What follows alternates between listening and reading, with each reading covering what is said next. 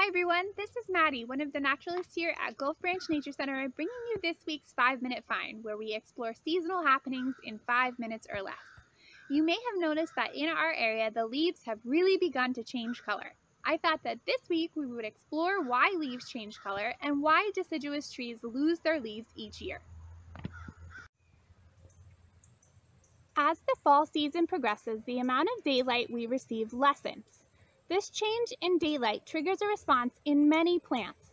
The cold, dry months of winter are some of the hardest for plants to survive. So many broadleaf plants have adopted a strategy to conserve energy, preserve water, and reduce damage from cold and drought. They lose their leaves. Before a tree loses its leaves, it first reabsorbs some of the minerals and nutrients that can be found in the leaves. There's no sense in wasting. This causes chlorophyll, the pigment that gives leaves their green color and allows plants to absorb energy from sunlight, to break down. The result is that we end up seeing all of the other beautiful pigments that have been present in the leaves all along. Carotenoids and flavonoids are pigments that contribute to the yellow and orange colors we find on leaves, including hickories and walnuts, tulip poplars, locusts, and ash, as well as a whole host of other living species, including carrots, pumpkins, even canaries, shrimp, and flamingos. Carotenoids begin to break down while the chlorophyll does. They just break down at a slower rate, which allows us to see the yellow and orange colors they are responsible for. They play a role in photosynthesis and other biological processes in plants and animals. Other pigments, called anthocyanins, are responsible for the red and purpley colors we see on trees like dogwoods, maples, and even plants like Virginia creeper, which are the leaves we're seeing here. Unlike carotenoids and flavonoids, anthocyanins have not been present in the leaves all along. As the sugar concentration in the leaves increases as fall progresses, sunlight triggers the production of anthocyanins.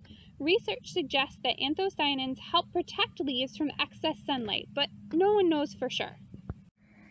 Tannins are the pigment that are responsible for the brown colors we see in leaves, whether we're looking at a white oak, swamp white oak, or American beech.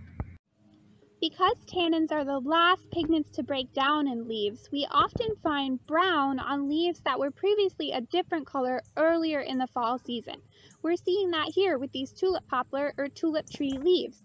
Early in the season, you'll find tulip tree leaves that are bright yellow like we're seeing here.